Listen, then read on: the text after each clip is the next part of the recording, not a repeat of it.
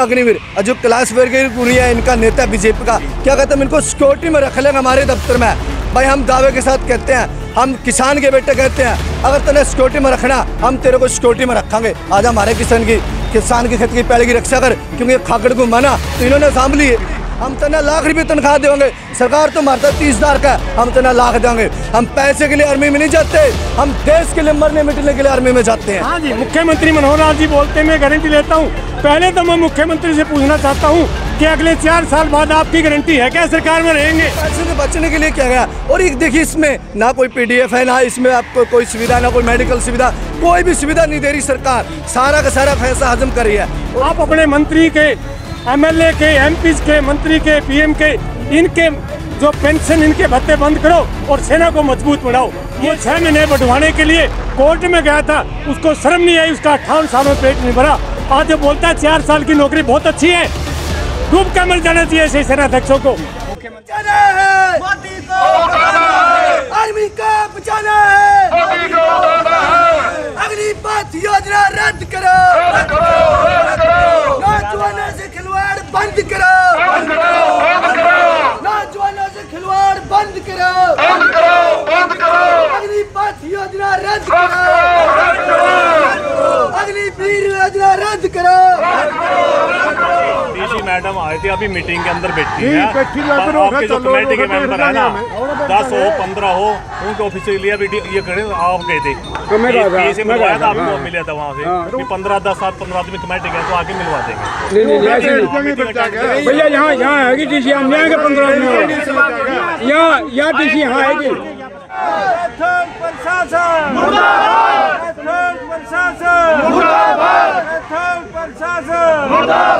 नमस्कार सभी को। एक मिनट जी प्रशासन के अधिकारियों से जोड़ के प्रार्थना एक है ये पूरा संयुक्त किसान मोर्चा कैथल खड़ा है। और अगर आपने हमारा इतिहास पढ़ना तो पहले तेरह महीने का भी पढ़ लो मैं हमने आंदोलन शांति प्रिय तरीके से चलाया है। दूसरा जब डीसी साहब ये कहती है कि वह ग्यारह व्यक्ति आए हम उससे बात करेंगे तो यहाँ क्यों नहीं आती यहाँ नमस्कार, कैथल ब्रेकिंग टीवी देख रहे हैं आप। मेरा नाम है जयप्रकाश। इस समय हम मौजूद है कैथल के जिला सचिवालय में। मैं आपको बता दूँ, बीते दिनों जो विद्यार्थियों ने, छात्रों ने रोष प्रदर्शन करते हुए बस स्टैंड का जो चौक था, वो जाम किया था और उसी को लेकर कुछ केस जो दर्ज हो चुके थे, उसी को लेकर आज यहाँ पर जो किसान और जो अन्य जो संगठन हैं, वो यहाँ पर किसान संगठन भी यहाँ पर पहुँच चुका है। एसएफआई के लोग भी यहाँ पर पहुँच चुके हैं। उन केसों को वापस लेने के लिए लेकर और अग्निपथ जो स्कीम है, उसको वापस लेने के लिए जो इन्होंने ज्ञापन सौंपना है, वो भी हम बातचीत करेंगे। जानने की कोशिश कर लेते हैं क्या कुछ इनका कहना है और क्या कुछ इनकी मांगे हैं। कैप्टन बलजीत मोर पूर्व पूर्व कल्याण समिति जिला अध्यक्ष। आज का जो विषय है जो पिछले तीन साल से सरकार ने सेना की भर्ती को रोक रखा था और हमारे नौजवानों के अंदर एक उम्मीद थी कि शायद अभी कोरोना खत्म हो गया है और सरकार भर्ती निकालेगी। उस उम्मीद को सरकार ने पानी फेर कर अग्नि पथ के नाम से अग्निवीरों की भर्ती के नाम पे एक योजना तैयार कर ली। और ये हमारे नौजवानों के साथ एक बहुत बड़ा धोखा है क्योंकि मैं सेना के बारे में अच्छी तरह से जानता हूँ, बत्तीस साल सेवा करके कैप्टन रैंक से रिटायर हूँ। मेरा बेटा भी आर्मी में अफसर है। तो हमने ये देखा कि सेना के अंदर चार साल के अंदर कुछ भी नहीं सीख सकता। क्योंकि भारत की भौगोलिक परिस्थितियाँ अनेकों प्रकार की हैं। मैदान है डेजर्ट है, पहाड़ी है, जंगल है और सियाचन ग्लेशियर है। चार साल में तो एक इलाके की ट्रेनिंग पूरी नहीं हो पाती और न ही हथियारों की पूरी होती। क्योंकि सेना के अंदर समय समय के ऊपर ट्रेनिंग चलती है, साल में कैप्सूल ट्रेनिंग चलती है समाई की ट्रेनिंग चलती है, और उस दौरान समय समय के ऊपर जवान सीखता है, और समय समय के ऊपर आजकल जो नया युग आ गया है, इसके अंदर नए नए टेक्नोलॉजी नए नए हथियार आ रहे हैं। उन हथियारों के बारे में चाहे वो बी एफ़ एस आर है, चाहे रेडार है, चाहे लाइट मशीन गन है चाहे मीडियम मशीन गन है चाहे सी एम जी है चाहे नई राइफल है चाहे इंसास राइफल है चाहे ए के फोर्टी राइफल है चाहे फिफ्टी सिक्स राइफल है। यानी कि चाहे टैंक है चाहे मिजाइल है चाहे आर की गने हैं। हर एक प्रकार के नए नए इंस्ट्रूमेंट नए नए हथियार आ रहे हैं। चाहे हेलीकॉप्टर है चाहे लड़ाकू विमान है। उनके बारे में चार साल के अंदर तो कुछ भी नहीं सीख सकते हम। क्या लगता है जो चार साल की है ग्रेवेंस एक्ट क्योंकि पाँच साल के बाद तो पेंशन बन जाती है उसके लिए किया गया है? इसीलिए सरकार ने ये योजना बनाई है ताकि पाँच साल में उनको पेंशन ना दें और चार साल में उनको निकाल दें और पचहत्तर परसेंट को निकाल दें पच्चीस परसेंट को रख लें। पचहत्तर परसेंट को बाहर निकाल के अभी गृह मंत्रालय ने पहले बयान दिया कि हम दस परसेंट आरक्षण देंगे। उसके बाद रक्षा मंत्रालय ने बयान दे दिया रक्षा मंत्री राजनाथ ने कि हम दस दस परसेंट आरक्षण देंगे। तो मैं इनसे पूछना चाहता हूँ कि आप इनको दस परसेंट आरक्षण दे, कहाँ से देंगे? जब हर साल भारतीय सेना के 50 से पचपन हज़ार सैनिक रिटायर होते हैं जो अपनी कलर सेवा पूरी करके आते हैं उनको तो रोज़गार देते नहीं उनमें से तो आठ से दस परसेंट को रोज़गार मिलता है इनसे कहाँ से मिलेगा? कैलाश विजयवर्गीय का एक बयान आया है कि जो अग्निवीर है उसको मैं प्राथमिकता दूँगा कि बीजेपी ऑफ़िस में मैं उसको गार्ड लगा दूँ देखो कितने शर्म की बात है। आज कैलाश विजय वर्गीय जबलपुर एमपी का रहने वाला है और वो बोलता कि मैं बीजेपी के ऑफ़िस में उसको गार्ड लगाऊँगा। क्या देश की सेना को गार्ड सिविल में एक नेता के घर में गार्ड लगाने के लिए मैं आज पूछना चाहता हूँ बीजेपी के नेताओं से, सेना को देने के लिए इनके पास पेंशन नहीं है, पिछला जो रक्षा बजट था, पहली बात तो दूसरे देशों से वैसे कम किया, फिर उसमें से तिरसठ हज़ार करोड़ रक्षा बजट वापस जमा करा दिया। तो मैं इनसे पूछना चाहता हूँ कि आप इस सेना को तैयार करके अपने ऑफ़िस में गार्ड लगाएँगे? तो मैं पूछना चाहता हूँ, जनरल वीके सिंह। जब जनरल वीके सिंह सेना का चीफ, सेना अध्यक्ष था, वो कलकत्ता के अंदर था, हम उसके साथ रहे। हमने उसकी नौकरी, उसकी मैडम के साथ, भारती के साथ भी नौकरी किया तब बड़े बड़े वादे करता था कि सेना के लिए काम करूँगा। जब 2013 सितंबर के अंदर, रिवाड़ी के अंदर पूर्व सैनिकों की रैली भी थी और मोदी का वहीं से शुरुआत हुई थी, उस टाइम पर जनरल वी के सिंह ने सेना के लिए बहुत कुछ करने का ऐलान किया था। उस टाइम पे अन्ना हजारे की अटैची लेकर जनरल वी के सिंह घूम रहा था। आज वो दूसरी बार सरकार में मंत्री है। तो मैं जनरल वी के सिंह से पूछना चाहता हूँ, वो छह महीने बढ़वाने के लिए कोर्ट में गया था। उसको शर्म नहीं आई, उसका अट्ठावन साल में पेट नहीं भरा। आज जो बोलता है, चार साल की नौकरी बहुत अच्छी है। डूब कर मर जाना चाहिए ऐसे सेनाध्यक्षों को। मुख्यमंत्री मनोहर लाल खट्टर का बयान आया है कि मैं गारंटी लेता हूँ कि अग्निवीर जब चार साल के बाद आएँगे तो उनको रोज़गार दिया जाए हाँ जी मुख्यमंत्री मनोहर लाल जी बोलते मैं गारंटी लेता हूँ। पहले तो मैं मुख्यमंत्री से पूछना चाहता हूँ की अगले चार साल बाद आपकी गारंटी है क्या? सरकार में रहेंगे। दूसरा मुख्यमंत्री जो हरियाणा के अंदर पूर्व सैनिक है पहले उनको रिसेटलमेंट करें उसके बाद उनकी गारंटी लें। तो क्या जिस तरह से एक मज़बूत भारत बनाने की बात जो भाजपा सरकार कर रही थी इस तरह से मज़बूत भारत बन पाएगा जो चार साल की योजना सैनिकों को ले ये अग्निपथ योजना बिल्कुल गलत है। इससे कोई भारत मज़बूत नहीं होगा इससे भारत बहुत कमज़ोर होगा। आज हमारे देश की हालात ये है कि हमारे एक तरफ़ चाइना एक तरफ़ पाकिस्तान आँख लगा के खड़ा हुआ है। हमें उनसे निपटने के लिए बहुत मज़बूत सेना की ज़रूरत है और चार साल के अंदर वो मौका देखते हमारे ऊपर अटैक करेंगे। और आज की हालत जो देश की है सत्तर परसेंट इस्लामिक देश हमारे विरोध में खड़े हो गए हैं। पीछे एक नुपुर शर्मा नपूर शर्मा के बयान के ऊपर ये सारी बीजेपी की मनगढ़ंत कहानियाँ हैं उसी को दबाने के लिए एकदम अग्निपथ योजना शुरू कर दी इन्होंने। ये देश के साथ बिल्कुल धोखा है। मैं पूछना चाहता हूँ बीजेपी के नेताओं से सेना को देने के लिए आपके पास पैसा नहीं है।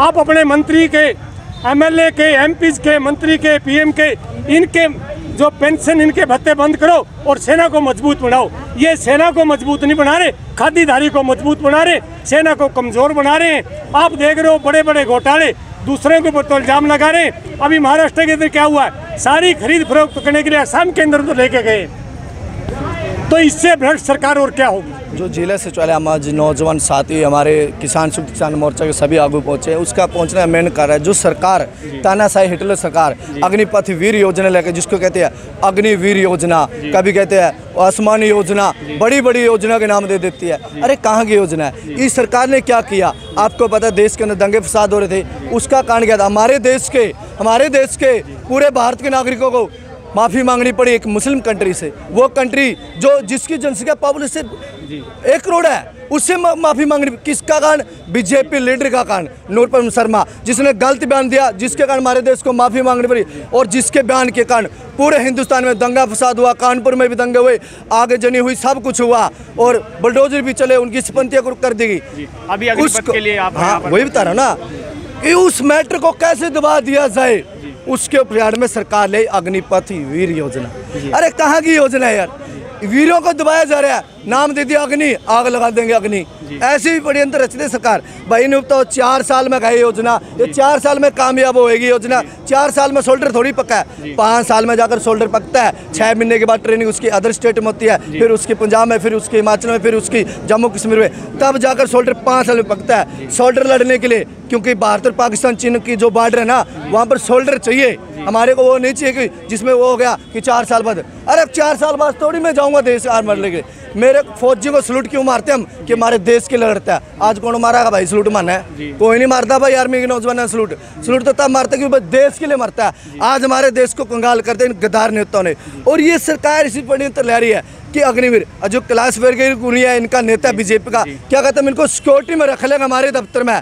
भाई हम दावे के साथ कहते हैं हम किसान के बेटे कहते हैं अगर तने सिक्योरिटी में रखना हम तेरे को सिक्योरिटी में रखेंगे। आज हमारे किसान की किसान के खेत की पहले की रक्षा कर क्योंकि खाकड़ को मना तो इन्होंने सांभ लिए मोदी और के जो खट्टर का खाकड़ को मना तो इन्हें साम ली। हम तना लाख रुपए तनख्वाह देंगे। सरकार तो मारता है तीस हज़ार का। हम तना लाख देंगे। हम पैसे के लिए आर्मी में नहीं जाते। हम देश के लिए मरने मिटने के लिए आर्मी में जाते हैं। और ये जो सरकार कहती है कि हम चार साल के लिए देंगे। कैसी सरकार है क्या देश के? लगता है जो चार साल का टाइम क्या है? जो ग्रेवेंस एक्ट है नाइनटीन क्योंकि पाँच साल किसी संस्थान में अगर काम करते हैं तो उसकी पेंशन बन जाती है। क्या ये पेंशन से बचने के लिए किया गया? बिल्कुल बिल्कुल पेंशन से बचने के लिए किया गया। और एक देखिए इसमें ना कोई पीडीएफ है ना इसमें आपको कोई सुविधा ना कोई मेडिकल सुविधा कोई भी सुविधा नहीं दे रही सरकार। सारा का सारा पैसा हजम कर रही है। और एक षड्यंत्र और रच दिया। शायद आपको पता होगा पत्रकार साथियों चौंतीस हज़ार करोड़ का घोटाला। कल रात चौंतीस हज़ार करोड़ का घोटाला हुआ है। और उस घोटाले में कौन शामिल? हमारे देश का प्रधानमंत्री का रिश्तेदार बैंक मैनेजर है रिश्तेदार जो बाहर देश का है। जो। हमारे देश का मोदी है उसका भाई है। उसका रिश्तेदार सुगुद उसका जमाई बैंक का यूनियन बैंक का मैनेजर है। गुजरात के अंदर सत्रह बैंकों का पैसा लुटे लिया इन्होंने। चौंतीस हज़ार करोड़ का घोटाला करा है सरकार ने। ये ऐसी सरकार है देश के फ्यूचर के बारे में सोचने के बजाय अपने जेब भर रही है। क्यों भर रही है? क्यों करे घोटाला? गुजरात के अंदर इलेक्शन आने वाला है। जी। ये इलेक्शन आने वाला है इसलिए पैसा जम कर रही है। घोटाले पे घोटाले कर। तैयारी यस अब देखिए महाराष्ट्र में यही तो किया इन्होंने। यहाँ तो अग्निवीर योजना लगा दी नीचे सरकार तोड़ दी दूसरे की। ये यही तो करती है। जी कुछ अग्निवीरों पे यानी अगर अग्निवीर ना गए तो कुछ जवानों पर जब उन्होंने प्रोटेस्ट किया तो उन पर केस हुए हैं तो कुछ प्रशासन ने भाई हम दिल्ली गए थे बीस तारीख में भारत बंद का बनता। मारपा करके दिखाओ ना। वो थे जो गदार बीजेपी के आरएसएस के टट्टू जिन्हें आगजनी करी। जवान का भी आगजनी करता। जवान को बताइए मेरे देश की संपत्ति हम इसको आग नहीं लगाएँगे। तो क्या लगता है इसके बीच जो पार्टी के लोग भी आके ये बिल्कुल जैसे किसान आंदोलन में करे भाई। किसान आंदोलन को क्या नहीं कहेगा खालिस्तानी माओवादी तो जाटा आंदोलन है फलाना आंदोलन है दिगड़ा आंदोलन है ये तो परजीवी है माओजीवी है। तो आंदोलन को तोड़ने की तैयारियाँ की बिल्कुल तैयारियाँ करिए सरकार। और आज से जो चौबीस तारीख से आज से ये रजिस्ट्रेशन स्टार्ट करी है। जो व्यक्ति जवान रजिस्ट्रेशन नहीं ज़ाहिर करेगा। आज रजिस्ट्रेशन मेरा कौन ज़ाहिर करेगा? आरएसएस के टट्टू। जो। आरएसएस के चमचे वो रजिस्ट्रेशन ज़ाहिर करेंगे। जवान रजिस्ट्रेशन क्योंकि देश के लिए चार साल वास्ते थोड़ी जाऊँगा मैं। पंद्रह साल के लिए देश के लिए मरना होता है। मुख्यमंत्री मनोहर लाल खट्टर का बयान आता है कि मैं गारंटी लेता हूँ कि अग्निवीरों को रोज़गार की गारंटी है चार साल के बाद जब अरे नहीं बता चार साल में तो रहेगा कि नहीं रहेगा? पहले नहीं बता देता हूँ। तो किस चीज़ की गारंटी दे? तेरा पता तो कल रहेगा नहीं रहा। मेरा खुद नहीं पता मैं कल जीऊँगा नहीं मरूँगा। वो चार साल की क्या गारंटी दे देगा मनोहर लाल खट्टर? ये तो खटारा सरकार है झूठ के पिटा रहे हैं मोदी ने मंडा रही है झूठ के पिटा रही है तो पिटा रही है झूठेंगी। जैसा ऊपर से देश होता है ऐसे बोलते हैं। अगर सरकार नहीं मानती है तो क्या कुछ आगे की रणनीति है जो आपने तैयार की अगर सरकार नहीं मानते हमारे नौजवान जैसे किसान आंदोलन ने सभी किसान संगठन ने मिलकर दिल्ली के अंदर झंडा काटा था। नियो हम झंडा काटा मैं दिल्ली के जंतर मंत्र पे।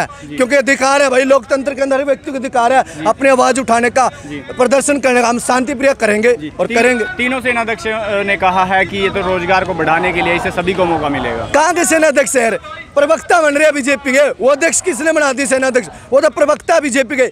एक भी बीजेपी के प्रवक्ता बयान नहीं देता। अग्निवीर योजना के प्रति। कौन देता है बयान तीनों सेनाध्यक्ष। चापलूसी हैं सरकार के। क्योंकि उनको डर है कि थारे को हटा देंगे। वो इसलिए बयान दे रहे हैं क्योंकि राज्यसभा की तीन सीटें उनको मिलने वाले तीनों सेनाध्यक्ष को। वो इसलिए बयान देते हैं सरकार के पक्ष मैं सतपाल दिल्लावाड़ी भारतीय किसान यूनियन रतनमान जी आज जिला सचिवालय पहुँचे हैं किस विषय को लेकर? ज़िले सचिवालय जी जो सरकार की गलत नीतियों के कारण पहुँचे हैं। सरकार जो भी कानून लेकर आती है बीजेपी सरकार तब से आई है। तो पहले ना इन्होंने किसानों को बर्बाद करने के लिए तीन काले कानून ले आए उसका विरोध सारे हिंदुस्तान में डट कर हुआ और तेरह महीने लगातार बॉर्डरों पर बैठकर वो तीन काले कानून वापस कराए और इस सरकार से माफ़ी भी मंगवाई।